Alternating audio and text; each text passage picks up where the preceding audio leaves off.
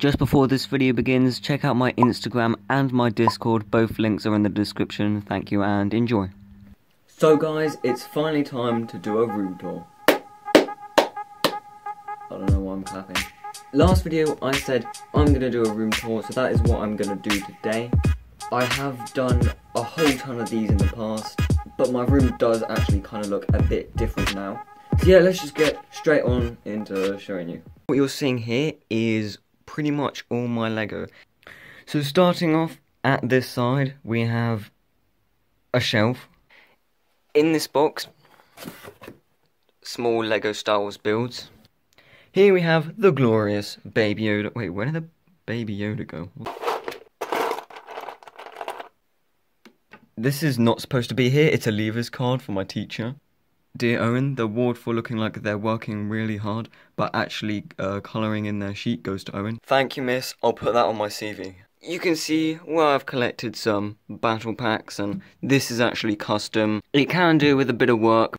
Droid gunship, and the best LEGO Star Wars set in the world. What?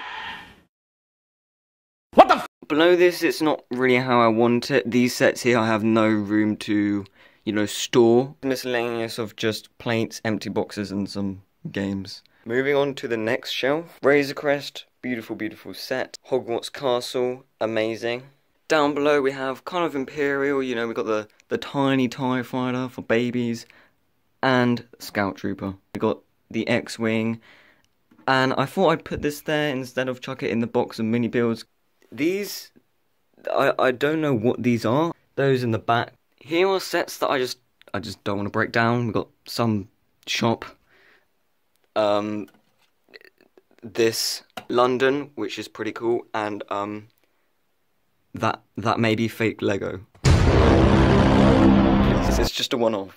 Okay, moving on. Uh, I can explain. This is where everything else is, and it kind of gets a bit complicated. Oh my god, the sun! Go away! This is just where I have my sorted parts, which is a work in progress, which you can all see, and it all continues underneath as well. Yeah, I'm gonna outro my video on a walk.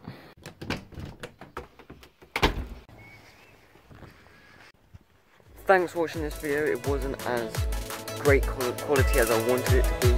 Future videos will be more original, like,